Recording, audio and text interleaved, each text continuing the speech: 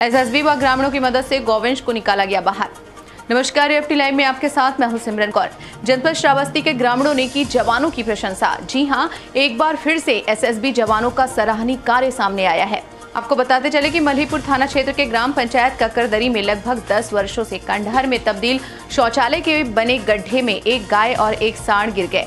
गड्ढा गहरा होने के कारण वे दोनों अपने आप निकल नहीं पाए, जिसकी सूचना स्थानीय लोगों ने पत्रकार मोहित गुप्ता को दी। सूचना पाते ही पत्रकार ने थाना मल्हीपुर प्रभारी और इंडो नेपाल सीमा पर तैनात बासठवीं वाहिनी D company commander SI Babu Saheb Singh को दी, जिसकी सूचना पाते ही कंपनी कमांडर अपने जवानों के साथ तुरंत घटनास्थल पर पहुँचे।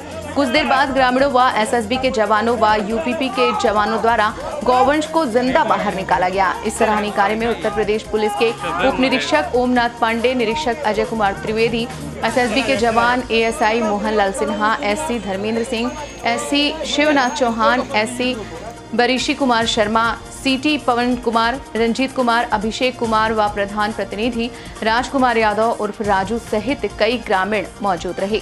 यूएफटी लाइव के लिए मोइनुद्दीन अंसारी की रिपोर्ट।